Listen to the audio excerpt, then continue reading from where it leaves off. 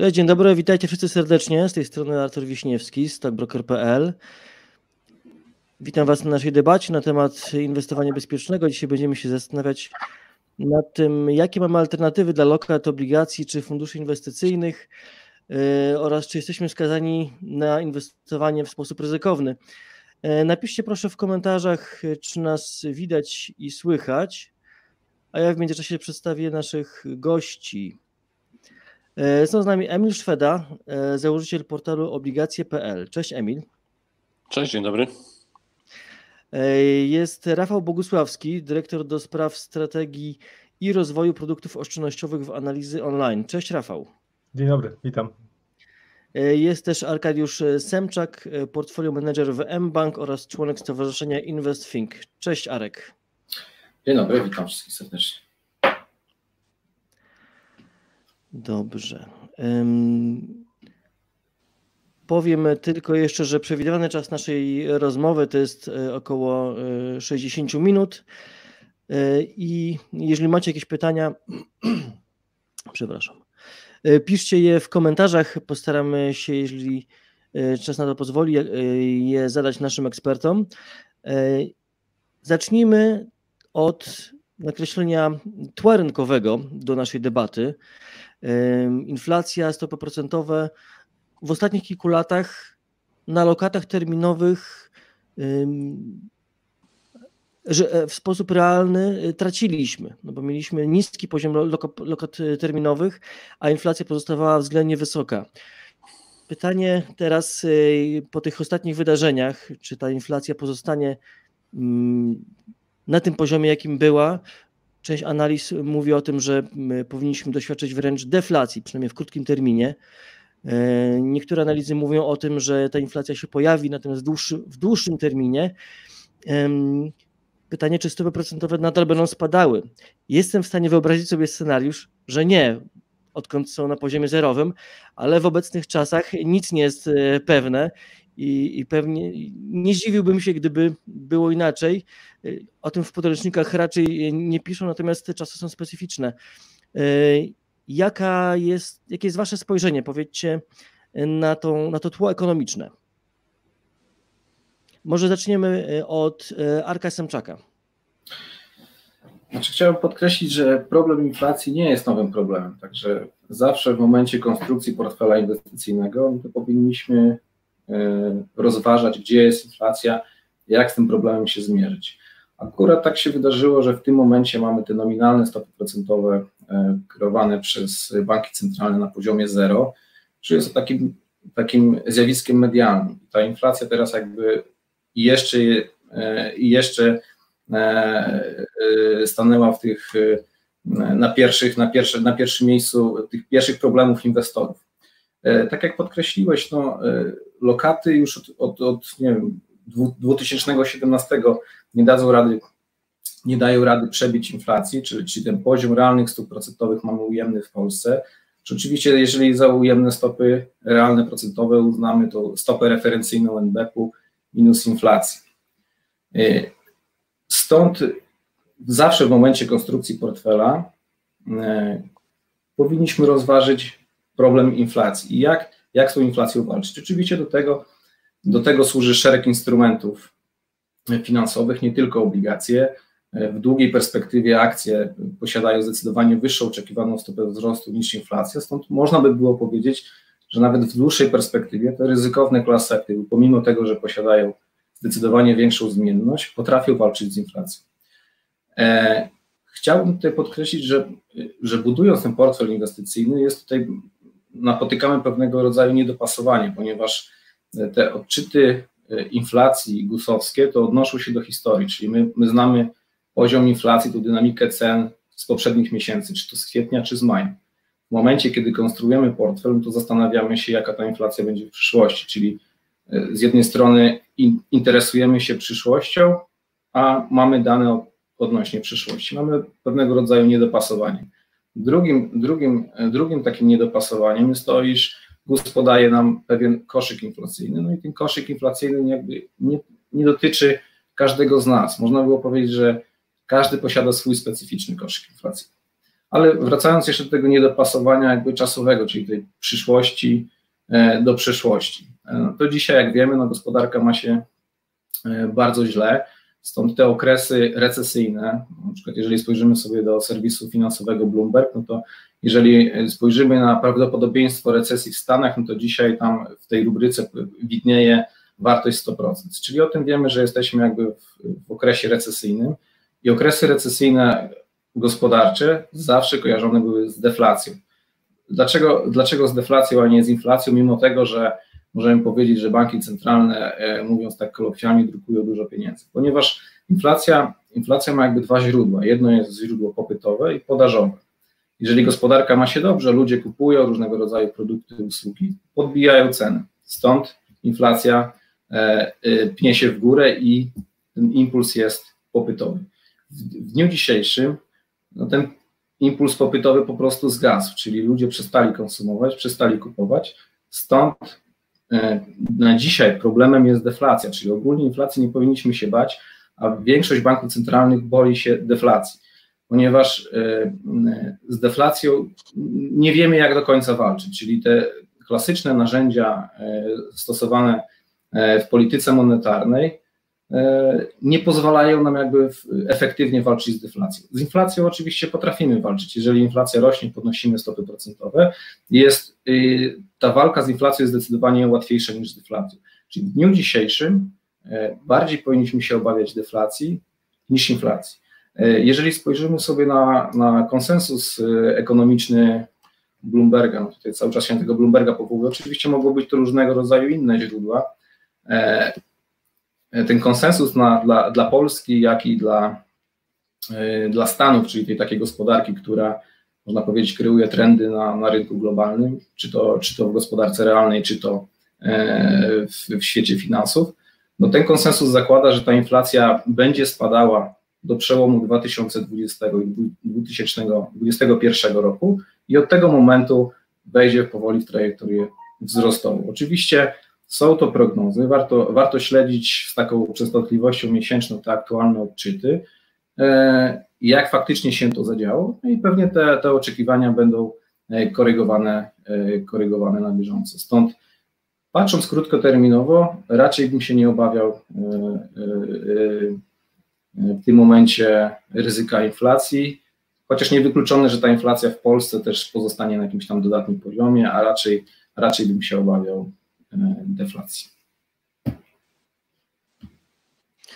Rafał, czy będziemy nadal, nadal na lokatach tracić? E, w najbliższym czasie można oczekiwać oczywiście, że e, inflacja się obniży i tu w zasadzie wszystkie prognozy, wskaźniki wyprzedzające mówią o tym, że inflacja spadnie zarówno w Polsce, jak i w skali świata. To oczywiście wynika z osłabienia gospodarczego i to, to, też ciekawe, że w Polsce głównie, jeżeli popatrzymy na oczekiwania deflacyjne, czyli spadku y, inflacji, to, jest, to są oczekiwania wśród przedsiębiorców. Oni się obawiają mniejszego popytu na swoje wyroby, obawiają się, że będą musieli obniżać ceny, e, natomiast wśród konsumentów cały czas te oczekiwania inflacyjne są dość wysokie i to też pokazuje, jak już y, zostaną obudzone oczekiwania inflacyjne, to potem ciężko jest te y, oczekiwania zatrzymać, jeżeli się prowadzi taką politykę y, monetarną łagodną, jak prowadził NBP w swoim czasie, więc to koronawirus z punktu widzenia polityki NBP-u przyszedł w odpowiednim momencie, żeby zdusić inflację.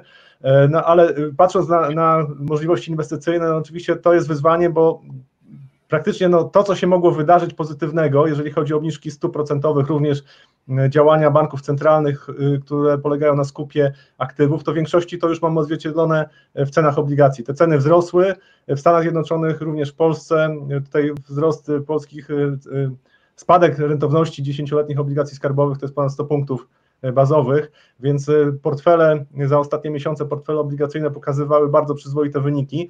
Natomiast no, jesteśmy teraz w otoczeniu już bardzo niskich stóp procentowych y, i mało prawdopodobne, chociaż ostatnio pani Ancyparowicz z Rady Polityki Pieniężnej napomknęła, że to nie jest prawdopodobne, ale ewentualnie mogą wprowadzić ujemne stopy procentowe w Polsce. No, tutaj miały wątpliwości, czy to będzie ten efekt, którego oczekujemy. Natomiast mamy wyzwanie w postaci zbudowania portfela inwestycyjnego, w którym będą obligacje, które pozwolą coś zarobić. E, jeżeli mówimy o funduszach, no to jest kwestia jeszcze oczywiście opłaty e, za zarządzanie, e, czy w ogóle opłaty bieżącej, która jest ponoszona w funduszach. Jeżeli dwuletnie obligacje skarbowe polskie mają rentowność 0,2%, no to wyjście na plus, już nawet nie mówię o realnej stopie zwrotu, to, to będzie wyzwanie. W dłuższym trochę horyzoncie, patrząc na to, co się może dziać w gospodarce, to ta, ten impuls deflacyjny, czyli spadek cen w perspektywie następnych powiedzmy dwóch kwartałów, może być przejściowy. Tutaj też jest kwestia tego, co się będzie działo dalej z popytem, co będą robiły e, rządy, jeżeli chodzi o stymulowanie popytu w 2021-2022. Może się okazać, że ze względu na to, że w tej chwili już jesteśmy na etapie, czy w Stanach Zjednoczonych, czy w Europie, już bezpośredniego rozdawania przez rządy pieniędzy dla konsumentów, to się dzieje się będzie działo. Na razie nie będzie to miało negatywnego efektu, jeżeli mówimy o wzroście inflacji, ze względu na to, że mamy szok, mamy implozję, to znaczy spowolnienie gospodarcze jest tak głębokie, że bez względu ile się wrzuci w tą dziurę w tej chwili pieniędzy, to w terminie kilku miesięcy nie będzie tutaj żadnego negatywnego efektu. Natomiast jeżeli te procesy nie zostaną zatrzymane w odpowiednim momencie albo ograniczone, to może się okazać, że na przykład w przyszłym roku ta inflacja zacznie się podnosić. E, jakie to będzie wyzwanie? No przede wszystkim takie, że przy poziomie zadłużenia rządów, ale generalnie zadłużenia w gospodarce światowej, e, to wszystko w tej chwili jeszcze funkcjonuje dlatego, że mamy bardzo niskie stopy procentowe. Jeżeli e, rynki zaczęłyby obawiać się tego, że banki centralne nie będą w stanie utrzymać tych niskich rentowności i te rentowności zaczną rosnąć, no to wtedy już mamy zagrożenie, jeżeli chodzi o stabilność finansów w skali świata. Wiele krajów może mieć problemy. To by też negatywnie działało na rynki obligacji, bo Oczywiście banki centralne mogą skupić dużo, natomiast nie są w stanie skupić oczywiście wszystkich obligacji e, i, i, i to byłby ten element przyszły rok czy 2022. Natomiast w najbliższym czasie no, można oczekiwać, że jednak deflacja, że e, te, e, to, co się dzieje w gospodarce, będzie, będzie jednak powodowało, że inwestorzy będą poszukiwali tych bezpieczniejszych aktywów, czyli będą nawet akceptowali te bardzo niskie stopy zwrotu w przypadku rynku obligacji. W trochę dłuższym terminie myślę, że będą jednak poszukiwali e, trochę bardziej ryzykownych mm, e, aktywów, żeby mieć wyższe stopy zwrotu. To się też będzie przekładało oczywiście na to, co będą proponowały e, towarzystwa funduszy inwestycyjnych. Tutaj pierwsze ruchy są wykonane. Santander poszedł w stronę proponowania klientom bonusów za to, że zmienią portfel na bardziej ryzykowny, PKO BP obniża opłaty za zarządzanie, no to wszystko są ruchy, które są wymuszane przez obecną sytuację e, na, na rynku papierów dłużnych. E, i tak jak mówię, no w perspektywie tego roku myślę, że tutaj inflacja nie będzie problemem, w perspektywie e, przyszłego roku 2020 roku, 2022 ta inflacja może zacząć rosnąć, wtedy trzeba będzie dostosowywać portfel obligacji, tutaj długoterminowe obligacje też mogą wtedy nie zachowywać się dobrze, natomiast no na razie trzeba szukać możliwości zarobienia e, w, w, na portfelach, w których będzie jakiś element ryzyka. Tutaj e, takie super bezpieczne, wyłącznie krótkoterminowe obligacje skarbowe e, mogą nie spełnić oczekiwań inwestorów.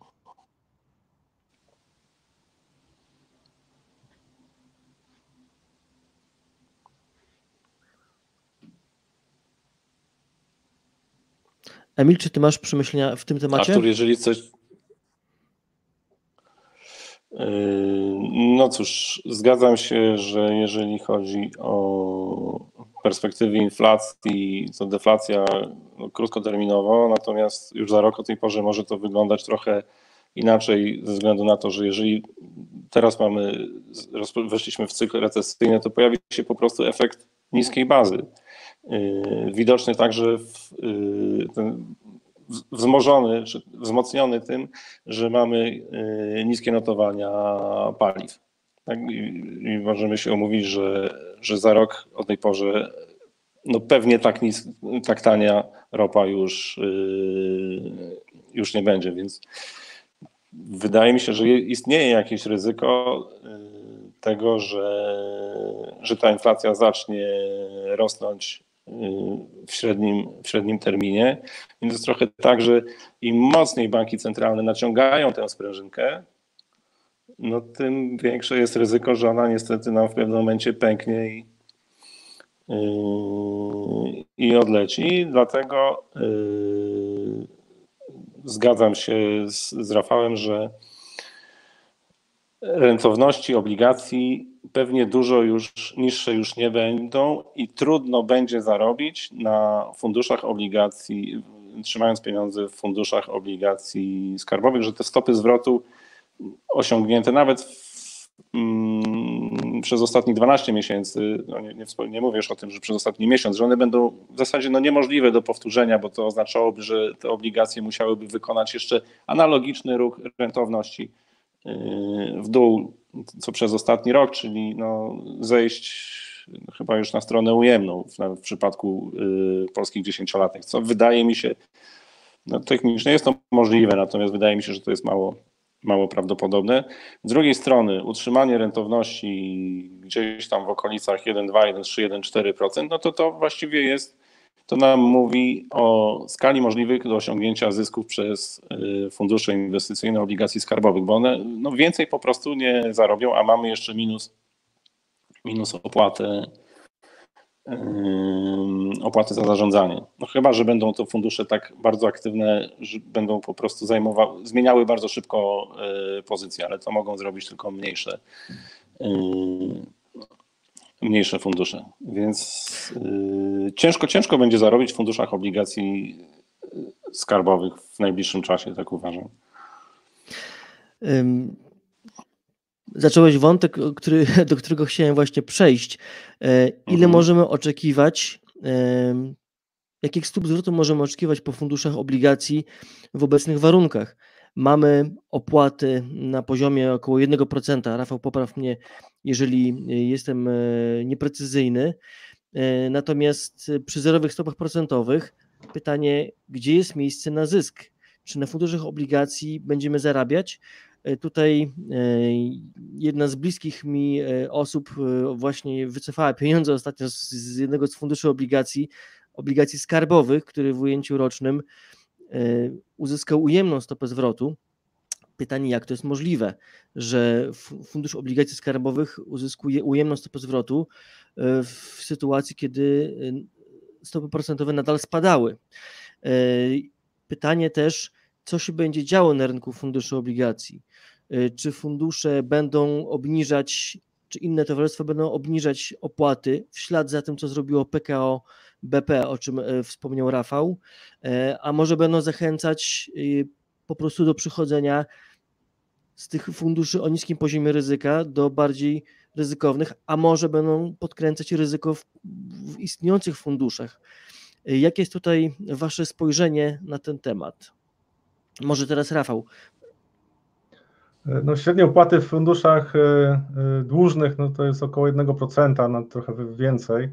Zależy oczywiście od towarzystwa. Tutaj PKO przetarło szlaki, jeżeli chodzi o obniżanie e, tych, tych opłat. Ten flagowy fundusz obligacji skarbowych obniżyli opłatę z 0,8 na 0,5 no to przy aktywach, e, miliard e, aktywów to jest 3 miliony złotych mniej, jeżeli chodzi o opłatę za zarządzanie. To pokazuje, jak, e, jak istotne są te to, to pieniądze i jak trudne decyzje przed towarzystwami, zwłaszcza tymi mniejszymi towarzystwami, bo oczywiście no tutaj portfel PKO wszystkich funduszy no to są miliardy, natomiast, natomiast jeżeli popatrzymy na mniejsze towarzystwa, to taka rezygnacja z opłaty za zarządzanie może być bolesna z punktu widzenia funkcjonowania tego towarzystwa. Z drugiej strony, jeżeli klienci zobaczą, że nie ma dodatnich stóp zwrotu, a to jest bardzo prawdopodobne, zwłaszcza na e, funduszach obligacji skarbowych, tych krótkoterminowych, czyli czyli tam, gdzie, gdzie inwestujemy powiedzmy do dwóch lat, czy ewentualnie do pięciu, tak, ale tam są najczęściej jakieś obostrzenia, najczęściej przyjmuje się, że to jest do, do dwóch lat taki portfel e, obligacyjny, no to tutaj szanse na zarobienie e, dodatnich stóp zwrotu przy opłacie za zarządzanie nawet poziomu 0,5% są wyzwaniem. Oczywiście to jest ten sam problem, który mają już od 2015 roku zarządzający w strefie euro i rozwiązania są, jest kilka rozwiązań, natomiast ja się spodziewam, że to obniżanie opłat za zarządzanie będzie przebiegało, może na początku jeszcze mniejsze towarzystwa mogą się bronić, natomiast myślę, że to jednak presja rynku będzie wystarczająco mocna, żeby też musieli pokazać, że wykonują pewne działania, które, które pozwolą klientom zarabiać. Natomiast będzie poszukiwanie bardziej, znaczy ekspozycja portfela na bardziej ryzykowne inwestycje. I tutaj oczywiście można trochę zwiększać duration, czyli można wprowadzić E, papiery, które mają dłuższe terminy zapadalności, to są po pierwsze wyższe rentowności, po drugie jest szansa, że jeszcze we właściwym momencie, jeżeli kupimy, to rentowności mogą spaść, więc jeszcze cena e, zagra nam pozytywnie. Drugi obszar to jest oczywiście to też, co robili i robią zarządzający e, funduszami dłużnymi w strefie euro, wychodzenie poza strefę euro, czyli tu naszym przypadku wychodzenie poza Polskę i nie do strefy euro, tylko raczej na rynki wschodzące i szukanie tam atrakcyjnych inwestycji. Natomiast tu oczywiście trzeba brać pod uwagę ryzyka związane z kursem walutowym i też z tym, że gospodarki rynków wschodzących, tam zmiany y, poziomu rentowności obligacji są, bywają bardzo gwałtowne, więc to od razu podwyższa ryzyko portfela. I trzecia możliwość to, są, to jest ryzyko kredytowe, czyli zaczynamy brać większe ryzyko, jeżeli mówimy o obligacjach korporacyjnych, które też w takich portfelach mogą się pojawić. I, i myślę, że będzie przesuwanie się klientów i to będzie też nieuniknione w stronę tych bardziej agresywnych portfeli, czyli takich, które mają pewien poziom ryzyka, to duża, duża, duże wyzwanie przed towarzystwami funduszy inwestycyjnych, żeby e, edukować ludzi, mówić im o tym ryzyku, żeby później nie uciekali tak, jak uciekali w marcu z funduszy obligacji korporacyjnych, że to jest część procesu inwestycyjnego, takie wahnięcia się zdarzają, natomiast jeżeli ktoś chce inwestować w portfel dłużny w dłuższym horyzoncie i chce mieć stopy zwrotu, które czy pokonają inflację, czy nie pokonają, to już jest inne pytanie, ale dadzą nam stopę zwrotu rzędu nie wiem, 1,5 czy 2%, to y, y, musi zaakceptować jednak, że jakiś element zmienności będzie miał, jakiś element ryzyka kredytowego będzie miał. To, co zrobiły fundusze y, obligacji skarbowych długoterminowych za ostatnie 3 lata, gdzie y, wiele tych funduszy ma łączną stopę zwrotu powyżej 10%, 11, 12, 15, 17% widziałem, y, że są takie stopy zwrotu, to w tym otoczeniu rynkowym jest y, nawet na obligacjach, portfelach obligacji długoterminowych skarbowych to jest nie do osiągnięcia i to też warto, żeby mówić mm, klientom, że jeżeli y, chcą mieć stopy zwrotu, które nie będą w okolicach zera, to nie mogą mieć portfela obligacji skarbowych krótkoterminowych, bo tu matematyka działa. No nie ma możliwości, żeby zarządzający, mając portfel obligacji skarbowych do dwóch lat, zarobił 2%. Y, y, no to po prostu matematyka na to nie pozwoli. Więc myślę, że te wszystkie elementy będą obecne i to się będzie dużo działo też na poziomie edukacyjnym, czyli przedstawiania oferty, nowej oferty y, klientom, bo jeżeli fundusze inwestycyjne nie, nie, nie dokonają, nie wykonają tej pracy, nie zaproponują nowych rozwiązań, no to jednak myślę, że będą traciły klientów. No tutaj ta część osób, która zostanie akceptując, że przechowują pieniądze w funduszach inwestycyjnych, no ale pytanie, po co przechowywać pieniądze w funduszach e, obligacji skarbowych krótkoterminowych, skoro mogę też również trzymać je na rachunku bankowym i tutaj nie, nie zarabiam i tutaj nie zarabiam e, i to jest wyzwanie. To myślę, że to jest wyzwanie na najbliższych miesiącach, bo klienci za 2-3 miesiące zobaczą, że jednak te portfele obligacji, zwłaszcza obligacji krótkoterminowych, skarbowych, e, nie zarabiają. No i to myślę, że tutaj może, może być temat również medialny. Rafał, jeszcze Cię dopytam tylko krótko i też krótko odpowiedz, bo przed naszym mm, tutaj spotkaniem zerknąłem e, też na e, saldo napływów do funduszy obligacyjnych od początku roku e, i mm, czy to, o czym mówisz, przypadkiem już się nie dzieje? Jeżeli chodzi o obliga fundusze obligacji skarbowych, przez pierwsze 5 miesięcy odpływ około 2 miliardów, a fundusze obligacji uniwersalnych napływ około 2 miliardów złotych. No tutaj też, też trzeba popatrzeć na to, co się wydarzyło, co się wydarzyło w, w, w, w marcu, że tam było bardzo duże zaburzenie, tam były bardzo duże odpływy z różnych klas aktywów funduszy, e, więc ja myślę, że tutaj ta ucieczka marcowa trochę zaburza ten obraz, natomiast w kolejnych kolejnych miesiącach jak najbardziej myślę taka tendencja będzie, znaczy e, tu, tu, tu te, te fundusze właśnie takie super bezpieczne, no, nie mają możliwości, żeby dostarczyć jakąś e, dodatnią wysoką stopę zwrotu. No, jeżeli stopa referencyjna była 1,5% i to już było wyzwanie, żeby, żeby zarabiać powyżej 1%, no to, to w tej chwili, jeżeli stopa referencyjna jest na poziomie 0,1, czyli WIBOR no jest też niewiele, niewiele, niewiele wyżej, no to, to, to, to jest wyzwanie, żeby po prostu cokolwiek zarobić. Ja myślę, że jak klienci będą to widzieli, to te procesy będą kontynuowane, już nie wynikające jakby z ryzyka rynkowego, jak ucieczki z, z funduszy, które miało miejsce w marcu, czy trochę w kwietniu, tylko to już bardziej będzie wtedy obserwowana tendencja w kolejnych miesiącach, że jednak inwestorzy rezygnują z utrzymania aktywów w takich funduszach, które e, w kolejnych miesiącach przynoszą zerową stopę zwrotu. Arek, jak ty byś się do tego odniósł? Jakie masz przemyślenia? Jeżeli postawimy pytanie, e, jak, jakiej oczekiwanej stopy zwrotu, e, jaką oczekiwaną stopę zwrotu można zakładać e, w funduszach obligacyjnych, to wydaje mi się, że jest to zbyt ogólne pojęcie, ponieważ tych obligacji mamy bardzo dużo różnych klas i różnych grup, czyli możemy przejść sobie obligacje skarbowe, obligacje korporacyjne, obligacje krótkoterminowe, obligacje długoterminowe. Jeżeli wchodzimy w obligacje korporacyjne, to możemy mówić investment grade, czyli takie jakościowo lepsze, możemy mówić high yieldy, czyli te jakościowo gorsze, możemy mówić y, o obligacjach krajów y, rozwiniętych, możemy mówić o obligacjach krajów rozwijających się, także tych, y, tych obligacji jest bardzo dużo różnych grup, czyli nie możemy jakby wrzucać tego wszystkiego do, je, do jednego worka.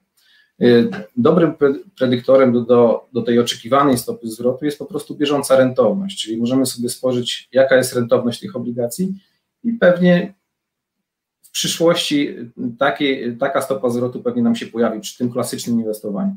Czyli jeżeli tutaj zgadzam się oczywiście z Rafałem, że jeżeli chcielibyśmy dzisiaj inwestować tylko te obligacje skarbowe, krótkoterminowe, e, takim podejściu klasycznym, że kupuję i czekam, aż, aż ten czas y, do wygaśnięcia nam się y, zbliża, no to, no to na tym nie ma co oczekiwać tutaj jakichś fajerwerków, ponieważ jak spojrzymy sobie na na przykład dwulatki skarbowe mają rentowność 0,2% w tym momencie, pięciolatki polskie 0,7%, dziesięciolatki mają już 1,3% i teraz tak, jeżeli wiadomo, że te obligacje dziesięcioletnie już mają zaszytą pewną zmienność, czyli ryzyko, bo można by było ewentualnie założyć, że z tych dziesięciolatków coś tu da się jeszcze wycisnąć, bo jeżeli ta rentowność by nam zjechała z dziesięciolatków, na przykład nie wiem, z tego 1,3 na, na 0,5, no to, to pewnie jeszcze coś byśmy z tego wycisnęli, jakiś przyzwoity, przyzwoity wynik.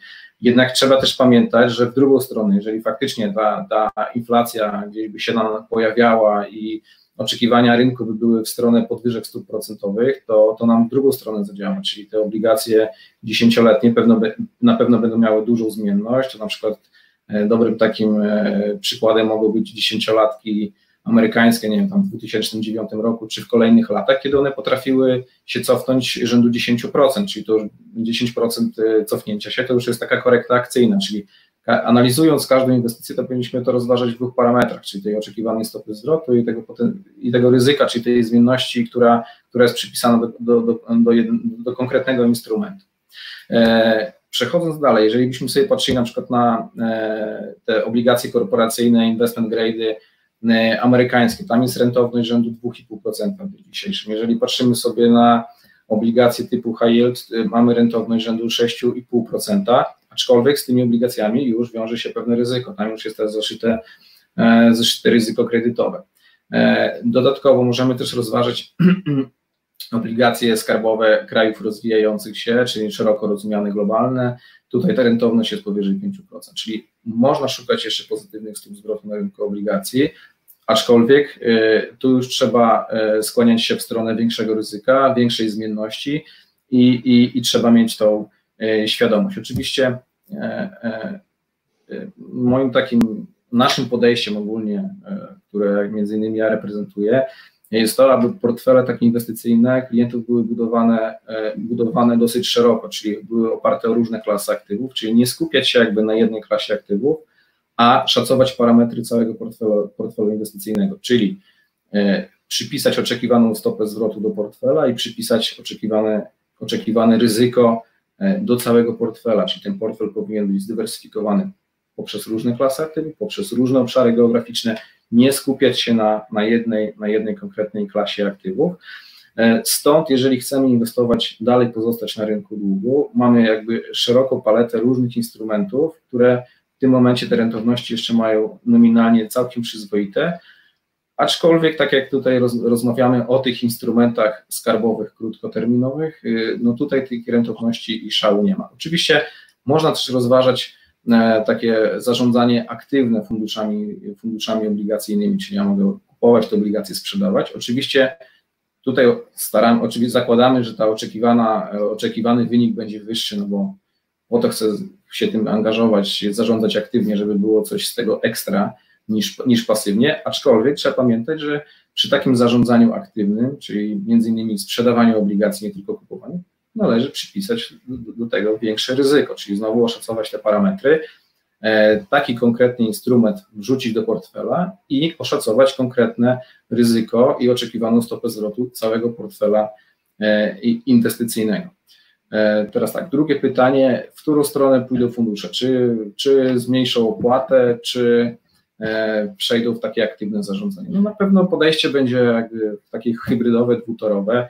Część funduszy zmienia te opłaty, to już było przytoczone, że te PKO zmieniają opłaty, chociaż e, one taką opłatę miały lekko wygórowaną z premią, także troszeczkę się zrównują z rynkiem. E, dodatkowo część funduszy pewnie będzie przechodziło w takie bardziej aktywne zarządzanie, czego przykładem może być tutaj NNK, kiedy te fundusze e, klasyczne, kiedy ich ta polityka była zaszyta między 0 do 2 lat, czyli kupujemy te obligacje z terminem zapadalności od 0 do 2 lat, oni dzisiaj te, e, tą politykę rozszerzają zarówno z jednej, jak i z drugiej strony, czyli mogą od minus 2 lat do 4 lat, czyli nie tylko mogą kupować te obligacje, ale i też sprzedawać. Tylko miejmy świadomość, że takie aktywne zarządzanie na, na rynku długu wiąże się oczywiście z większym ryzykiem. Czyli jeżeli klienci posiadają takie instrumenty, posiadają takie fundusze inwestycyjne, warto by było, aby wiedzieli, byli świadomi, z czego ich ta oczekiwana stopa zwrotu wynika i jakie jest ryzyko, żeby to nie było takie pasywne i bierne czekanie, co się wydarzy, tylko jakby uczestniczenie w tym całym procesie y, świadomie. I jeszcze było jakieś trzecie pytanie, tak? Czy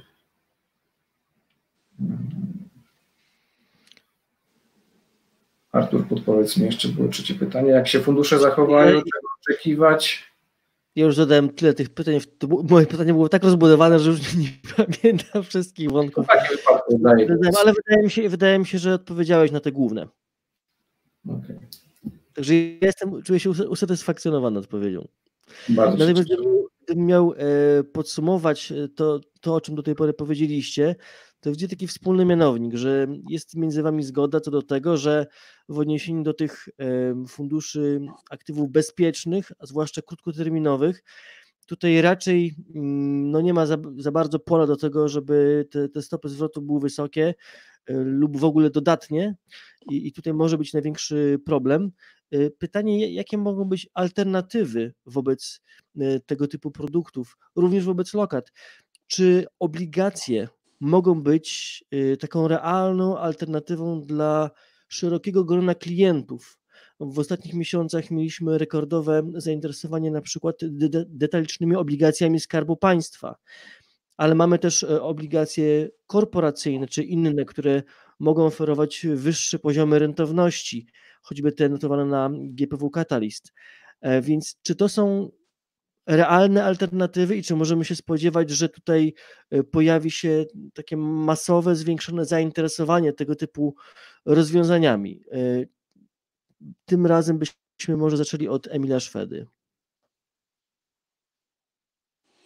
Mm, no, wydaje mi się, no właściwie nie to, że mi się wydaje, jestem przekonany, y, że tak, dlatego że to wszystko, o czym wcześniej mówiliśmy, że spodziewamy się zmienności po, większej zmienności po funduszach obligacji skarbowych, czy w ogóle po funduszach, bo fundusze obligacji korporacyjnych, jakby, mówię teraz o polskich funduszach, też mają taką sytuację mm, no, niezbyt interesującą, ponieważ większość, większość portfeli yy, to jest, jest oparta o krajowe obligacje, które są oparte o WIBOR, więc lada chwila w, w te obligacje w posiadaniu funduszy, w portfelach funduszy wejdą w nowe okresy odsetkowe i yy, a ponieważ one yy, stosują głównie liniową wycenę obligacji, czyli nie ma tej, yy, yy tych wahań, to pokażą nam po prostu niższe przychody z odsetek ich stopy zwrotu yy, także się yy, obniżą, ale to co, to, co chciałbym powiedzieć, to to, że to wszystko, o czym mówimy, to jest wiedza właściwie specjalistów, a yy, inwestycje w tego rodzaju fundusze dla przeciętnego inwestora indywidualnego, no tak kupuję fundusz obligacji, wiem, że dużo nie zarobię, ale, ale zarobię. A to się zmienia. Ta, yy, w tej chwili ta, yy, ta percepcja i wytłumaczenie tego, że, że teraz będzie ten wynik bardzo zmienny, może nawet ujemny, no to dla takiego inwestora wydaje mi się, że może być nie do zaakceptowania, bo on ma to samo właśnie na, na lokacie bankowej. Też nie zarobi za dużo, właściwie prawie nic, ale nie ma tej zmienności już, więc po co mu ta zmienność? Ewentualnie tą, alter, tą, tą alternatywą mogą być yy, obligacje oszczędnościowe Skarbu Państwa, gdzie ten zysk też nie jest duży, tak, ale na, 3 na 3-miesięcznej obligacji mam te 0,5%. A jeżeli się boję inflacji, no to mam obligacje indeksowane inflacją. No do niedawna jeszcze naprawdę to oprocentowanie było warunki były, były bardzo dobre, teraz są, od maja są troszkę, troszkę gorsze, ale też mam jakby produkt, produkt prosty, gdzie nie muszę się zastanawiać, jaką decyzję podejmie Rada Polityki Pieniężnej, czy Fed, ZBC, czy oni będą skupować te obligacje, czy nie, nie muszę mieć wiedzy na ten temat. Po prostu kupuję prosty produkt i już. I teraz, y, jeżeli chodzi o obligacje korporacyjne, to oczywiście one się od czasu getbacku y, może trochę gorzej kojarzą, ale wydaje mi się, że czasu minęło już na tyle dużo, że czy te dwa lata, że ta sprawa, no mówiąc brzydko, kolokwialnie, tak trochę już przyschła, trochę już została już trochę e, zapomniana. I teraz mamy taką sytuację, że y, ryzyko kredytowe na pewno nie zmalało w następstwie gospodarczych skutków pandemii, być może wzrosło dla poszczególnych emitentów. WIBOR spadł, więc w nowych emisjach te firmy musiałyby zaoferować wyższą marżę ponad WIBOR, żeby zrekompensować inwestorom niższe zyski odsetkowe, ale wydaje mi się, że nie będą chciały tego, emitenci nie będą chcieli iść w tą stronę, to znaczy nie zgodzą się na wyższe marże ponad WIBOR, dlatego że nie chcą być zaskoczeni wzrostem inflacji wzrostem stóp procentowych w przyszłości. Nie wiemy w tej chwili jak, jak odległej, czy to w ogóle nastąpi, a ewentualnie jak szybko. I pójdą w stronę y, stałego oprocentowania, co się zresztą już dzieje. Tam jeden z emitentów teraz ruszy, taki, który od kilku lat już przeprowadza emisje publiczne. Zawsze było to WIBOR plus marża. Teraz pierwszy raz robi emisję o stałym oprocentowaniu i, on, i to jest prosta konstrukcja. Dostaje tam 5 czy 6% dla inwestora indywidualnego. To jest proste, zrozumiałe. Tak? 5 czy 6% nieważne, co się wydarzy. I teraz 5 czy 6% w sytuacji, kiedy mam yy, 0,5% albo 1% w obligacji oszczędnościowej, lokata od 0 do 0,5 i zmienne wyniki w perspektywie zmienność yy, wyników funduszy obligacji skarbowych i korporacyjnych. Mówię o krajowym rynku. Pewnie, biorę te 5 czy 6%, które mam pewne, więc wydaje mi się, że, że zainteresowanie yy, obligacjami korporacyjnymi również wzrośnie. Rafał, Arkadiusz, jakie alternatywy dla lokat czy y, funduszy obligacyjnych, czy obligacje skarbowe lub y, obligacje innych emitentów y, mogą być dobrym pomysłem, mm, mogą być dobrą alternatywą, a może fundusze pasywnie zarządzane z krajowego lub zagranicznego podwórka? Może Arek myślę... by teraz. Tak? Czy, czy Rafał, widzicie? Proszę, proszę, proszę, widzę, że.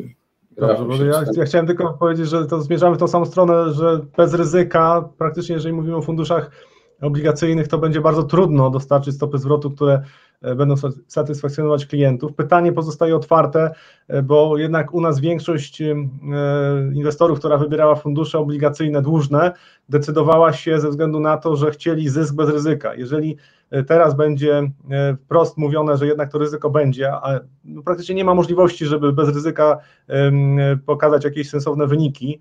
E, te zmiany, o których, e, o których Emil wspominał, tutaj przechodzenie na stałą stopę procentową, jeżeli chodzi o emisję obligacji korporacyjnych w Polsce, to pewnie będzie się działo, bo my byliśmy takim wenementem. No, w, w Europie czy w Stanach większość emisji jest o stałym procentowaniu, co też powoduje, że trochę inaczej te, te portfele obligacji zachowują. Natomiast ja widzę szansę jednak mimo wszystko dla tych y, y, funduszy inwestycyjnych, dla tych zarządzających, którzy będą konstruowali portfele, w których to ryzyko będzie wyważone. To znaczy będą proponowali, że na przykład będzie te 4 czy 5%, bo to jest, są rentowności, które można uzyskać. Notabene amerykańskie obligacje high yieldowe z punktu widzenia polskiego inwestora y, fajnie jest tam inwestować, bo można zabezpieczyć ryzyko y, walutowe, kursowe. W przypadku na przykład niektórych rynków wschodzących tutaj zabezpieczenie ryzyka przy inwestowaniu w obligacje skarbowe E, na, na rynkach schodzących już jest dużo trudniejsze, dużo, dużo bardziej kosztowne, praktycznie się tego nie robi, więc są możliwości, żeby budować portfele, które będą miały jakiś poziom ryzyka. I tu oczywiście departamenty ryzyka, czy analiza tego, jak ten portfel powinien zostać skonstruowany, żeby to ryzyko nie spowodowało, że nagle inwestorzy obudzą się z przeceną portfela o 10%, Zakładam, że powtórki z tego, co się działo w marcu, nie będzie, bo to, ten szok, który się pojawił, to było coś niespodziewanego. Tutaj będziemy mieli te ryzyka, które już w tej chwili można jakoś szacować. Można budować portfel, który będzie uwzględniał różne scenariusze, na przykład mniej korzystne, żeby to bezpieczeństwo inwestycji, czy żeby ta zmienność portfela nie była tak gwałtowna, jak na przykład była w marcu. Jeżeli część inwestorów zaakceptuje taki scenariusz, no to, to oni będą wpłacali pieniądze i te fundusze będą zyskiwały klientów. Ja tylko zmierzam do tego, że te krótkoterminowe e, papiery skarbowe, e, i to mówię, to jest matematyka, to nie jest tak, że ja to sobie wymyśliłem, nie dają szans na to, żeby stworzyć portfel, który e, przyniesie stopę zwrotu, która będzie mocno dodatnia, czyli na przykład, nie wiem, pół procent uzyskać na polskich obligacjach skarbowych krótkoterminowych, no jest niewykonalne z punktu widzenia matematycznego. Natomiast ja wierzę, że ze względu na to, że to potrzeba matką wynalazków, że zarządzający będą szukali takich możliwości, żeby ograniczając ryzyko, proponować e, wyższe stopy zwrotu i wierzę w to, że znajdą się klienci, którzy takiego, takie ryzyko zaakceptują ze względu na to, że nie będą mieli specjalnie alternatywy, znaczy nie będą mieli alternatywy, jeżeli chodzi o depozyty, być może obligacje indeksowane inflacją, natomiast też jest ryzyko, że jeżeli kupią tą obligację i za rok okaże się, że jest dołek inflacji, to następny okres odsetkowy mogą mieć w momencie, kiedy będzie rosła inflacja, więc też nie zarobią na inflację. To też są ryzyka, o których warto mówić, jak ktoś chce kupować obligacje indeksowane inflacją. Natomiast wierzę w to, że zarządzający będą w stanie tworzyć portfele, przy których y, klient będzie słyszał, ok, oczekiwany oczekiwana stopa zwrotu w perspektywie 4-5 lat to jest około 4%, bo tak, tak mi powinien pracować ten portfel, ale może się okazać, że w międzyczasie będą duże wahania e, i myślę, że część inwestorów to zaakceptuje, natomiast ci y, zarządzający, którzy nie poinformują klientów zawczasu, że krótkoterminowe obligacje skarbowe, te, te portfele nie będą zarabiały, nie realnie, tylko nawet nominalnie nie będą zarabiały, bo będą zarabiały symbolicznie, no mogą się spotkać e, z głosowaniem nogami, czyli odpływem e, klientów. Arkadiusz? Ja jeszcze może dwa, dwa słowa. Tak, zawsze szukamy alternatywy dla, dla rozwiązań bezpiecznych. W ogóle to bezpieczeństwo to jest też bardzo szeroki temat. To zawsze taki zostaje E, zadane pytanie na takim dużym poziomie ogólności, bo co to znaczy w ogóle bezpiecznie, tak? No możemy mieć w banku pieniądze, pamiętajmy, że tam jest do 100 tysięcy euro. No to ja często rozmawiam z klientami, których majątki są zdecydowanie większe i wtedy czy trzymać faktycznie pieniądze w banku, czy to jest dobrze. Oczywiście tutaj rozmawiamy o jakichś takich e, ekstremalnych przypadkach, ale miejmy z tyłu głowy, że takie prawdopodobieństwo istnieje, tak? Czyli to też nie jest super bezpiecznie. Stąd niewykluczone, że te obligacje skarbowe z jakimś tam e, rentownością zbliżoną do zera też są pewnie jakimś tam rozwiązaniem dla nich. To samo dzieje się w Niemczech. Oni kupują niemieckie bundy na rentownościach ujemnych. No po co? No pewnie dlatego, że uważają, że e, pewnie raz, że chcą zagrać na, na, na zmianie ceny, to, to, to, to jest jedna rzecz, a z drugiej strony pewnie duże majątki e, uważają, że obligacja rządu niemieckiego jest bezpieczniejsza niż banki, które akurat w przypadku Niemiec, no te banki mają tam swoje, swoje problemy. No i teraz tak, szukamy dalej jakby bezpiecznych rozwiązań. No na dniu dzisiejszym tutaj chciałbym też się zgodzić tutaj z kolegami, że no, tych bezpiecznych rozwiązań nie będzie. Jeżeli chcemy, chcemy oczekiwać jakichś dodatnych stóp zwrotu nominalnych, a, a jeszcze jeżeli szukamy realnych, czyli jeszcze musimy odrobić tą inflację, no to powinniśmy e, no niestety powoli rozważać ryzyko w naszym portfelu i przed, przed, przed takim otoczeniem stajemy i po prostu musimy sobie zrobić ten taki rachunek w domu, czy chcemy w tym uczestniczyć, czy nie chcemy. Jeżeli oczekuję e, dodatnich wyników nominalnych, tudzież realnych, powinienem wziąć ryzyko. I teraz pytanie, jak, jak to ryzyko, ryzyko zmyślnie, zmyślnie włożyć? Powinienem też pomyśleć, porozmawiać e, z kimś, kto, e, kto się interesuje rynkiem, zna się na różnych instrumentach finansowych, o horyzoncie inwestycyjnym, bo jeżeli dokładam sobie na przykład E,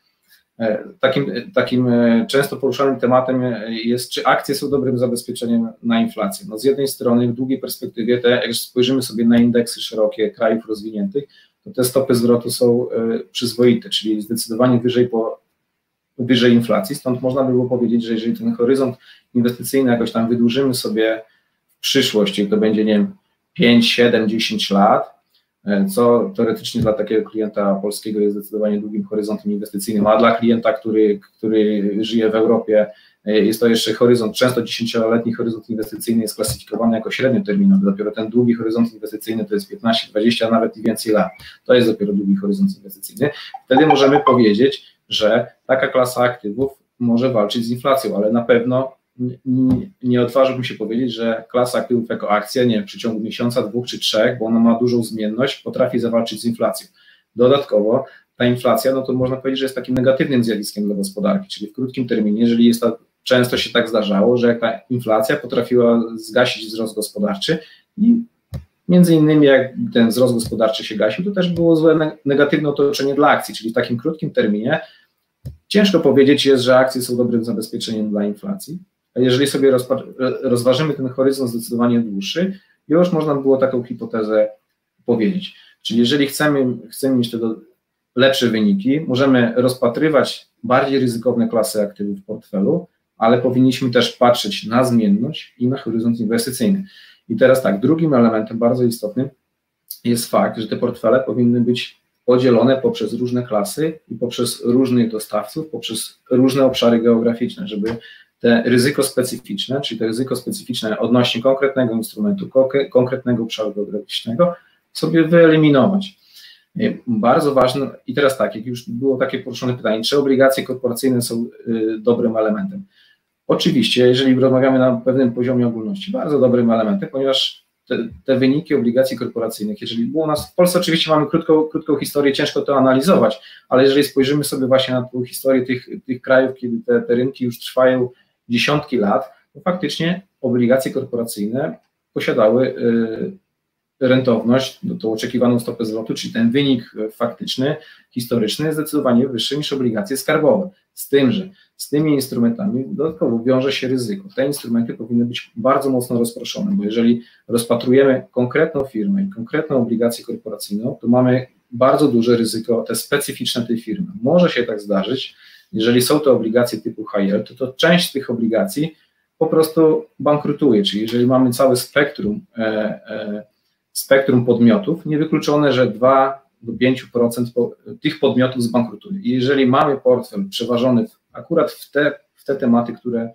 którym się nie udało, no to jeżeli mamy ten temat przeważony na własnym portfelu inwestycyjnym, to bardzo mocno nas to poruszy. Jeżeli jeżeli będziemy mieli bardzo rozproszony ten portfel inwestycyjny i będziemy mieli na przykład dla, dla, dla, łatwiejszej, dla łatwiejszej kalkulacji 100 podmiotów i każdy po, po jednym procencie i ten jeden nam zbankrutuje, to na pewno tego moglibyśmy nawet tego nie zauważyć, bo te resztę podmiotów y, może swoimi kuponami jakby zasypać tą dziurę z tego jednego y, konkretnego podmiotu, który nam akurat zbankrutował. Także y, dobieranie z tym dobieraniem takich pojedynczych tematów obligacyjnych, y, korporacyjnych, tudzież nawet skarbowych, jest to moim zdaniem y, trudne zajęcie, ponieważ tak, jeśli chodzi o obligacje korporacyjne, to wiadomo, trzeba czytać sprawozdania finansowe, czy któryś z klientów detalicznych kiedyś trzymał raport y, okresowy, raport bieżący emitentów. No zakładam, że pewnie część tak, ale szerokie grono nie. Dodatkowo już nie wspomnę o tym, że trzeba chodzić na jakieś walne zgromadzenia obligatariuszy i tak dalej, i tak dalej. Czyli tą pracę wolałbym chyba raczej zostawić specjalistom, e, żeby ten portfel był odpowiednio zarządzany, te, te instrumenty pojedyncze były e, dobierane i monitorowane. E, czyli jeżeli tak już może reasumując to moją może już lekko przydługą wypowiedź, jeżeli chcemy, aby te nasze oszczędności ciężko zapracowane w jakimś tam horyzoncie pracowały, powinniśmy rozważyć tę dywersyfikację portfela poprzez różne klasy aktywów. Na pewno nie dzisiaj skupiać się na tych obligacjach e, rządowych krótkoterminowych. Powinniśmy skłaniać się ku wzięciu większego ryzyka, ale żeby to ryzyko było e, rozsądnie, logicznie i racjonalnie poukładane i e, zmierzone globalnie w całym, w całym naszym portfelu. Jeszcze wracając, bo coś się jedna rzecz, wracając jeszcze do tych e, takich inwestycji bezpiecznych, no to jeżeli z jednej strony mamy lokaty bezpieczne, z drugiej strony takim instrumentem, który uważany jest za, można powiedzieć, e, relatywnie bezpieczne są te obligacje e, skarbowe zmiennokuponowe, tak mówiąc, e, mówiąc potocznie WZ. Jak mieliśmy e, dużą zmienność w marcu, te obligacje również kilka procent potrafiły stracić, czyli też zyskały zmienność. Jeżeli rozważamy sobie tutaj bezpieczeństwo, te bezpieczeństwo powinniśmy rozpatrywać pod kątem kilku różnych, kilku różnych obszarów. Arek, wywołałeś nasz ostatni temat, e, mówiąc o tym, e, czy akcje są dobrym pomysłem na zabezpieczenie przed inflacją. E, wiele osób patrzy w ten sposób. Na lokacie mam 0%. Fundusze, zwłaszcza te, mm, tych najbezpieczniejszych aktywów krótkoterminowe, no tam szału raczej nie będzie. To po co ja będę trzymał pieniądze w taki sposób? wyciągnę te pieniądze, kupię sobie mieszkanie albo zainwestuję w akcje. Myślę, że wiele, coraz więcej osób myśli w ten sposób, zwłaszcza jeśli spojrzymy na to, ile się chociażby nowych rachunków maklerskich otworzyło w ostatnich miesiącach, kilkadziesiąt tysięcy. E, również jeśli spojrzymy na napływy do funduszy akcji, e, były miesiące, kiedy te e, napływy były pozytywne. Nie byłoby w tym nic nadzwyczajnego, gdyby nie to, że to były okresy spadkowe, e, co się raczej nie zdarzało w przeszłości. E, pytanie jest takie, czy to jest dobry pomysł wziąć pieniądze z tych obligacji, czy, czy, czy lokat, czy funduszy obligacji i e, kupić za to akcje? Czy możemy się spodziewać takiego mm, większego napływu w tym kierunku? I zaczniemy teraz może od Rafała. Myślę, że to już w pewnym stopniu się zaczyna dziać, jeżeli mówimy o w, na zachodzie jest big rotation, tak, hasło, czyli zmiana klasy aktywów, przesiadanie się z obligacji na rynki akcji, ponieważ to, to, co widzimy w ostatnim czasie, to że jeżeli weźmiemy, jeżeli mówię o rynku długu, jeżeli weźmiemy działania banków centralnych, no to ostatnie 40 lat E, to trudno porównywać e, tą sytuację, którą w tej chwili mamy, jeżeli chodzi o rentowności obligacji, w ogóle e, to, co się dzieje na rynku długu, z czymkolwiek. No w, na początku lat 80. mieliśmy historycznie w Stanach Zjednoczonych bardzo wysokie rentowności, bardzo wysoką inflację. Od tego czasu no, praktycznie cały czas jest hossa na, na rynku obligacji E, skarbowych, natomiast doszło do momentu, w którym faktycznie te rentowności są tak niskie, że część inwestorów zaczyna sobie zadawać pytanie, ja mam też takie pytanie matematyczne, no, e, w przypadku akcji używa się najczęściej metod dyskontowych, czyli mamy na górze na przykład cashflowy albo zyski, na dole e, czynnik dyskontujący. Jeżeli czynnik dyskontujący, czyli to, co jest na dole ułamka, zmierza do zera, a tak się właśnie dzieje, to wartość ułamka zmierza do nieskończoności. Więc jeżeli ktoś mi mówi, że akcje są drogie ze względu na to, że 20 lat temu czy 30 lat temu e, te wskaźniki cena na zysk były zdecydowanie niższe, to ja pytam, porównujemy, ale do czego? Bo jeżeli porównujemy do możliwości znalezienia atrakcyjnych inwestycji na rynku długu, to jest bardzo ciężko, bo i też też na rynku długu muszę zaakceptować ryzyko kredytowe, czyli muszę kupować obligacje korporacyjne albo bardzo długoterminowe papiery skarbowe, żeby mieć jakąś sensowną stopę zwrotu. Więc być może warto zaryzykować część kapitału i kupić po prostu portfel akcji, który będzie zdywersyfikowany jeszcze w branżach wzrostowych i poczekać te kilka lat, bo to Oczywiście ten horyzont w perspektywie, nie wiem, pół roku, czy nawet dwóch lat na rynku akcyjnym to jest mało przewidywalne, co się może wydarzyć. Natomiast e, zakładam, że banki centralne będą w stanie przynajmniej przez pewien czas utrzymać nisko rentowności obligacji, nisko stopy procentowe, więc to będzie środowisko, w którym jak przetoczy się już te zawirowania, które w drugiej połowie roku też jeszcze pewnie będą związane z koronawirusem, to inwestorzy będą e, e, kupowali portfele akcyjne, dlatego że nie będą mieli alternatywy. Być może część pójdzie pieniędzy na nieruchomości, natomiast to się będzie działo ze względu na to, że nie ma alternatyw, nie ma po prostu możliwości, żeby zainwestować bez ryzyka. Więc 10% portfela, 20% portfela, który mam, e, zainwestuję w bardziej ryzykowne instrumenty po to, żeby oczekiwać, że jednak to, co się będzie działo pozytywnego w gospodarce, to, co będzie się działo też z wycenami akcji, prawdopodobnie ze względu na bardzo niskie otoczenie, y, bardzo niskie otoczenie, jeżeli chodzi o stopy procentowe, bardzo niskie stopy procentowe, y, to, to jest bardzo prawdopodobny scenariusz. I widać już nawet to, co się wydarzyło w ostatnich miesiącach, czyli ci, którzy kupowali w marcu, w kwietniu portfele akcyjne, no są zarobieni, tak, z Standard Poor od dołka 40% ponad zyskał. To nie jest jedyny rynek, y, małe, średnie spółki polskie też y, już jesteśmy na tych poziomach, na których byliśmy w lutym i to też wynika z tego, co robią banki centralne, jak dużo pieniądza jest pompowane na, na rynki finansowe, y, a efekt jest taki, że mamy coraz niższe rentowności, czy w Stanach Zjednoczonych, czy w Polsce, zresztą większość krajów podąża w tym samym kierunku. Strefa euro już ma problemy, żeby jeszcze niższe stopy procentowe wprowadzić, natomiast bank centralny robi wszystko, żeby na przykład rentowności włoskich obligacji spadły. Wczoraj była decyzja kolejna, zwiększenie skupu o 600 miliardów złotych, obligacje włoskie zyskały 20 punktów bazowych dziesięcioletnie, ale tu już są granice, no po prostu dalej już tych rentowności nie da się obniżyć, więc naturalne jest to, że jeżeli nie będzie zbyt dużych zawirowań na rynkach finansowych, a wygląda na to, że nawet teraz te zawirowania w gospodarce i na rynkach finansowych nie wystraszyły inwestorów, czyli zaczęli kupować mm, ryzyko, bardziej ryzykowne aktywa w postaci akcji, właśnie ze względu na to, że nie mają gdzie ulokować tych pieniędzy. Tu pojawił się temat, dlaczego kupują y, inwestorzy y, obligacje z ujemnymi rentownościami. Faktycznie duże portfele inwestycyjne, pomijam, że są statutowe ograniczenia, czyli niektóre fundusze emerytalne muszą mieć obligacje skarbowe, nie mają alternatywy, y, wolą kupić niemieckie, nawet jeżeli będą na tym tracili, niż zaryzykować, że kupią włoskie, kiedy się okaże, że Europejski Bank Centralny jednak nie może kupować aż tak dużo, żeby powstrzymać wzrost rentowności, poniosą stratę, więc wolą mieć małą stratę niż niż e, potencjalnie większy zysk, ale tam strata może być jeszcze większa. E, I to na rynku długu w tej chwili jest paradoksalna sytuacja, że jest szukanie czegokolwiek, co ma rentowności i nie ma zbyt dużego ryzyka. Za chwilę będzie szukanie czegokolwiek, co ma rentowności, nawet jak ma ryzyko, bo tak, tak to będzie ewoluowało. Zakładam, że z koronawirusem sobie poradzimy. Więc część portfeli pójdzie w stronę rynków akcji. To jest mój scenariusz i tutaj myślę, że to się będzie działo w kolejnych dwóch, trzech, czterech czy pięciu latach. Emil Szweda? No cóż, to się pewnie to się pewnie dzieje.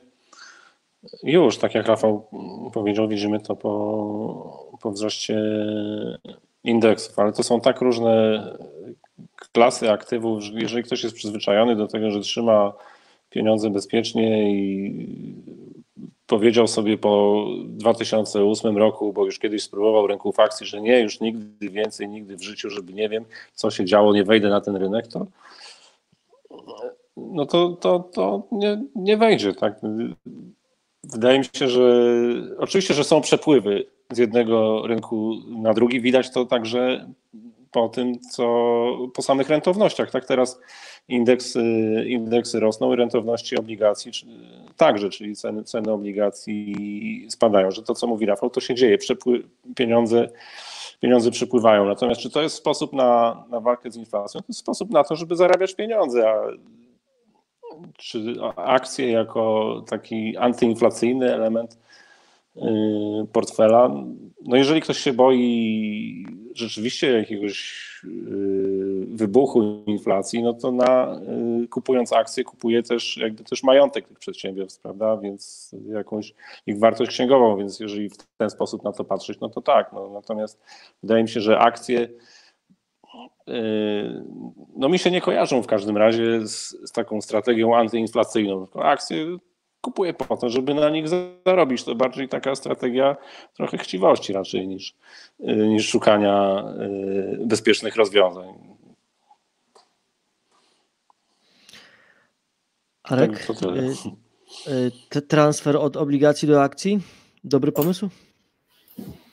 Znaczy, to tutaj takim ciekawym, wydaje mi się, że dobrym takim poligonem doświadczalnym tutaj były lata 2009-2015 w Stanach, kiedy oni pierwszy raz zepchnęli stopy procentowe do zera e, z końcem 2008, roku w grudniu. One zjechały do zera i, i, i były na tym poziomie, znaczy tam było ćwierć procenta, aż do końca 2015 e, roku. I tutaj warto przeanalizować, co się w tym okresie działo na tym rynku rozwiniętym. To e, które klasy aktywów? No to oczywiście wszystkie dały pozytywne zwroty, te, które, które były kojarzone z ryzykiem, czyli między innymi akcje, obligacje korporacyjne, czyli od góry idąc high yieldy, potem investment grade'y, potem były obligacje e, skarbowe dziesięciolatki, przy którym też jest przypisane duże ryzyko. One potrafiły w tym okresie też się cofnąć 10%, tak jak to już wcześniej podkreślałem, czyli mimo tego, że mamy obligacje skarbowe, one też, też mają duże ryzyko. No a nie dały zarobić w tym okresie właśnie te obligacje z krótkim terminem skarbowym, czyli no tutaj wydaje mi się, że takiej analogii można, można się spodziewać.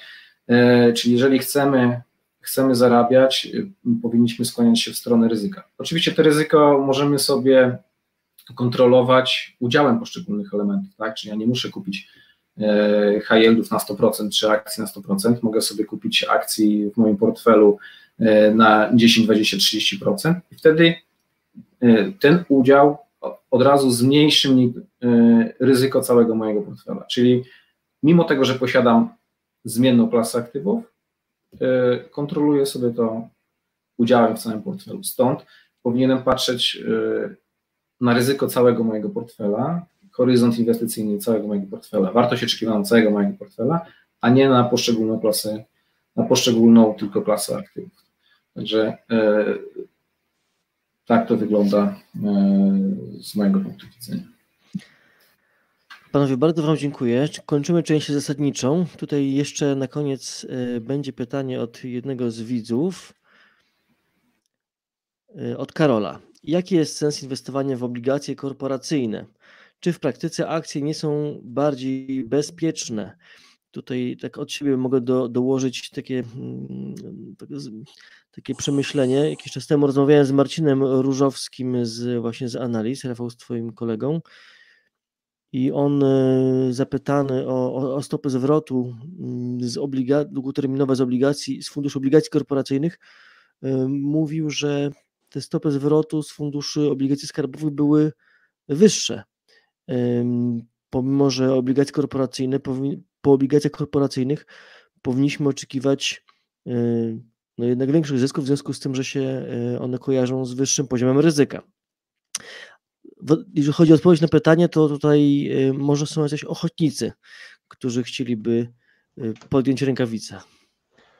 No ja mogę też powiedzieć z punktu widzenia matematycznego. Oczywiście, jeżeli kupuję obligacje e, korporacyjną, to ona ma jakiś czas życia i tutaj matematyka mówi, że jeżeli mam na przykład jakiś kupon, czy on jest na, oparty na wiborze, czy jest zmienny, czy to jest już stało kuponowe, no to jeżeli na przykład mam pięcioletnią obligację korporacyjną, e, to uzyskam taką stopę zwrotu i zwrot kapitału na koniec. Jeżeli na przykład średnia rentowność będzie na poziomie 4%, to dostanę to w tym okresie inwestycyjnym i potem zwrot kapitału. Natomiast jeżeli inwestuję w akcje, e, to jestem narażony na ryzyko, że na przykład firma może się nadal rozwijać, ale wolniej, czyli okaże się, że na przykład inwestorzy uważają, że w stosunku do tego, co e, czego oczekiwali, to ten wzrost jest jednak zdecydowanie za wolny, więc cena akcji będzie spadała.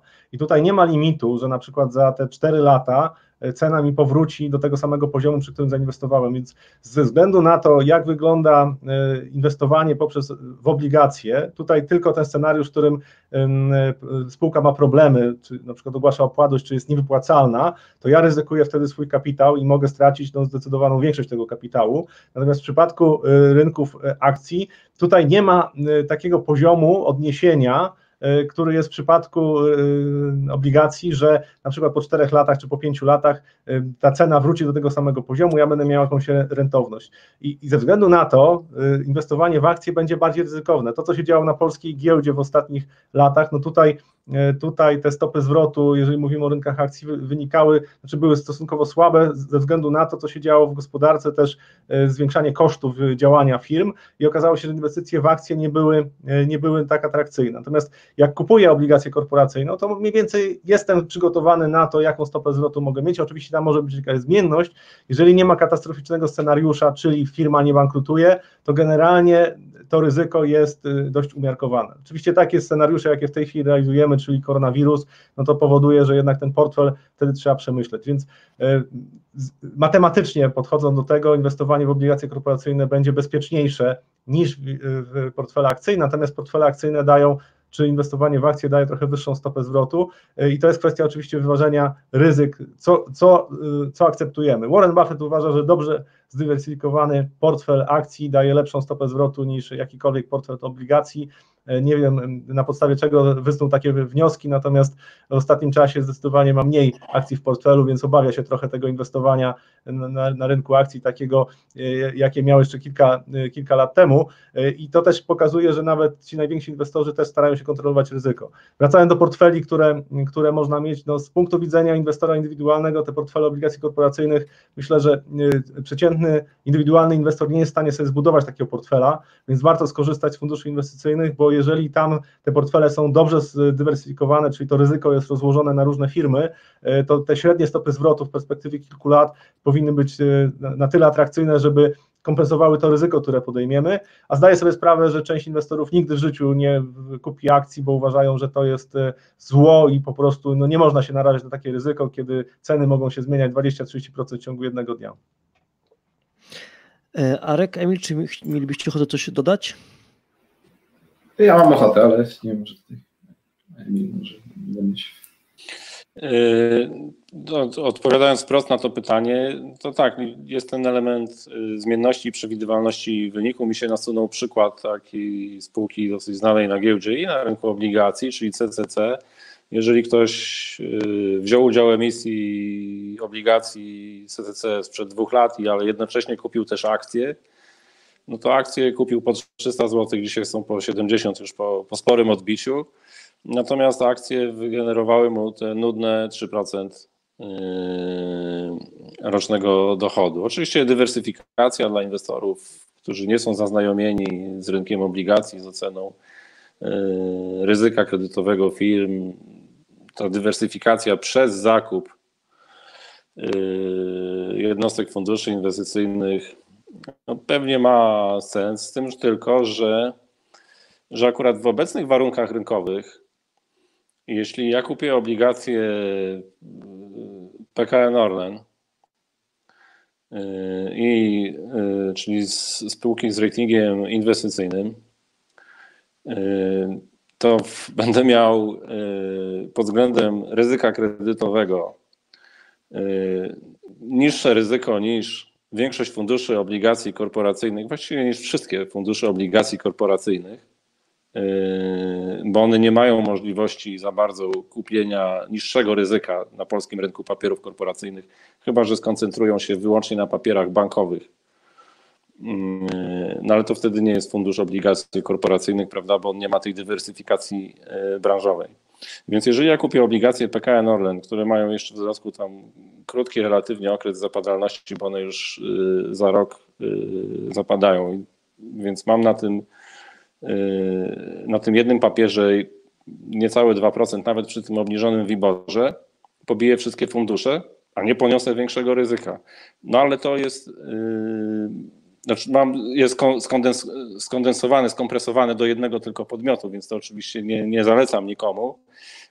Natomiast realia rynku są na tyle dziwne, że one się wymykają tym naszym takim złotym zasadom, że właściwie powinniśmy podzielić ten portfel obligacji korporacyjnych na 100 różnych podmiotów, pomijając już wykonalność tego, że nie robią tego same fundusze obligacji korporacyjnych i że same fundusze nie są w stanie nam zagwarantować tego, że one zawsze yy, będą właściwie zdywersyfikowane. Przypomnę, że trzy fundusze obligacji korporacyjnych zawiesiły yy, yy, działalność i nie były w stanie zwrócić środków inwestorom, ponieważ dokonały tak złych inwestycji, tak, tak, tak złego y, wyboru. Więc wiedza na temat tego, jak inwestować w obligacje korporacyjne bezpośrednio i wiedza na temat tego, co fundusze obligacji korporacyjnych mają w portfelach, na tyle, żeby podjąć tę świadomą decyzję, że tak, wybieram właśnie ten fundusz, bo jego bo zawartość jego portfela mi się podoba, y, właściwie się niczym nie różni. Tak na dobrą sprawę. Tak? Bo ja bym chciał wiedzieć, oceniając wynik funduszu obligacji korporacyjnych, czego się mogę spodziewać, czy on tam ma jakieś problematyczne pozycje, czy nie. A żeby to wiedzieć, to muszę znać tych 50 emitentów, przynajmniej chociaż troszkę. Yy, no, to nie są proste yy, wcale decyzje, no, ale jakby skracając do odpowiedzi na pytania, na obligacjach jest mniejsza zmienność, na, na akcjach jest, jest większa zmienność, no i w, jest też możliwa ta nagroda w postaci wysokiej, wysok, do, dobrej istoty zwrotu. Wszystko wydaje mi się, że zależy i tak od timingu, bo oczywiście te średnioroczne stopy zwrotu wiemy, że mają fajną historię pokazaną, ale pokażmy komuś yy, te same statystyki komuś, kto kupił e, fundusze małych i średnich spółek w 2009 roku i powiedzmy może na akcjach e, w długiej, w długiej perspektywie wyjdzie zawsze dobrze. Prawda? No, wszystko zależy od tego momentu. Teraz na dzień dzisiejszy wydaje mi się, że nie tylko akcje są tanie, nie tylko dlatego, że mm, stopy procentowe są niskie, to o czym mówił Rafał, tylko one po prostu są e, dzisiaj historycznie tanie, również w relacji na polskiej giełdzie znowuż w relacji do osiąganych y, zysków, tak? ten wskaźnik PIDO i jest, wciąż mieści się w dolnych rejonach, poniżej średniej, wydaje mi się, wieloletniej, więc one są po prostu atrakcyjne, niezależnie od tego, czy mamy zerowe stopy procentowe, czy, czy, czy trochę wyższe. Arek, ostatnie słowo? O, ja tu już szykuję jakąś dłuższą wypowiedź, także nie Nasz słuchacz zadał bardzo ciekawe pytanie, także narodziła się jakaś taka dyskusja.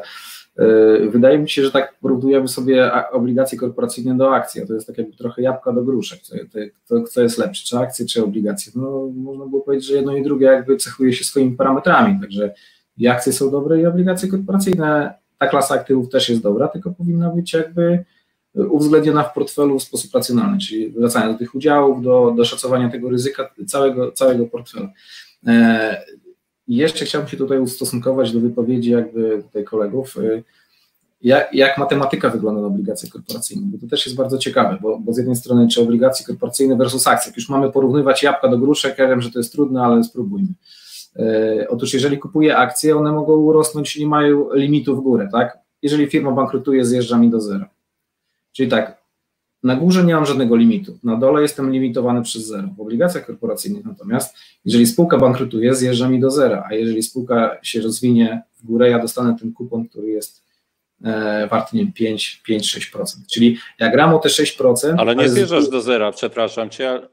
Jest mhm. recovery ratio poza Polską. Nie zjeżdżasz do zera, bo jesteś zaspokajany, jeżeli w przypadku obligacji jesteś wierzycielem, jesteś zaspokajany z masy upadłościowej, więc dopiero jeżeli ta masa upadłościowa jest, jest równa zero to zjeżdżasz do zera, ale z obligacji możesz zabezpieczone i możesz jesteś w stanie nawet z Ganta odzyskać 100%. Nie, no okej, okay, okej. Okay. Znaczy, to rozumiesz, tu już trzeba było analizować konkretne ryzyko specyficzne, czyli trzeba zobaczyć, na czym ta emisja polega, jak jest zabezpieczona i tak dalej, i tak dalej. Ja nie mówię, że każda obligacja korporacyjna zjedzie, bo każda pewnie będzie miała swój szczególny przypadek. Mamy te e, investment grade, rozmawialiśmy tutaj o PKN-ie, czyli ten jakościowo dobry. Pytanie jest, ile takich investment grade'ów jest w Polsce? No jest ich po prostu kilka. Jeżeli chciałbym ułożyć portfel zdywersyfikowany, nie będę miał takiej możliwości zrobienia tego w Polsce. Mamy y, większość popiertów korporacyjnych w Polsce są to high yieldy, czyli, czyli to ryzyko jest zdecydowanie większe. Ja nie mówię, że rynek jest zły, rynek jest jak najbardziej dobry, należy go rozwijać, bo to też finansowane są przedsiębiorstwa, na tym, na tym też inwestorzy zarabiają, tylko to powinno być zrobione jakby wszystko zmyślnie. Y, na pewno taki portfel obligacji korporacyjnych na pewno powinien być zdywersyfikowany, czyli jeden, dwa, no to to nie jest rozwiązanie na, na, na portfel inwestycyjny i tutaj na pewno bym się, bym się upierał przy tym. Dodatkowo spółki typu CCC, no okej, okay, też duża spółka, fajna, aczkolwiek no teraz miała problem z tym, z tym, z tym całym zawirowaniem covidowym, no tutaj takie ryzyko pojawiło się niespłacania tych obligacji, czyli tutaj troszeczkę taka śmierć zajrzała inwestorom w oczy, pojawił się PFR i, i tutaj jakby pomógł. Czyli trzeba mieć świadomość, że nawet takie duże firmy jak typu CCC mogą mieć chwilę słabości. Teraz pytanie tak, ile taka obligacja korporacyjna CCC powinna stanowić w moim portfelu, żebym ja sobie mógł spokojnie spać? To jest pytanie, bo teraz jeżeli potrafię sobie wyobrazić taki scenariusz, kiedy CCC powie, powie że, że bankrutuje i teraz ja patrzę do portfela, czy mam tę obligację, czy nie mam, czy nie mam tej obligacji w portfelu. I to jest właśnie ten parametr ryzyka, który powinienem rozpatrywać w portfelu. Dodatkowo, jeszcze bardzo ważny element płynności. Rynek polski, jeśli chodzi o obligacje korporacyjne, jest, nie jest płynny w ogóle.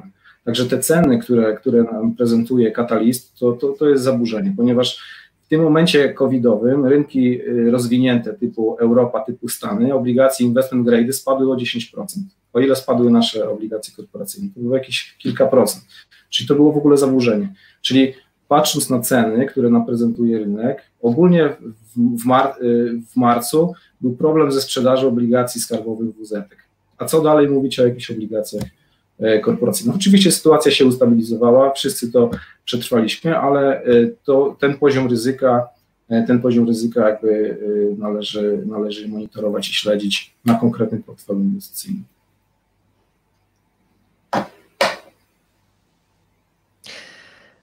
Panowie, bardzo Wam dziękuję.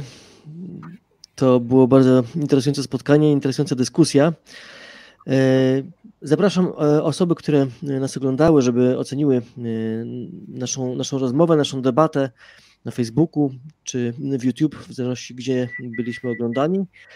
I zapraszam Was na kolejne materiały. W przyszłym tygodniu E, We wtorek o 11 będę rozmawiał z Mariuszem Kanińskim na temat tego, e, jak wygląda udział w walnym zgromadzeniu na odległość, w walnym zdalnym.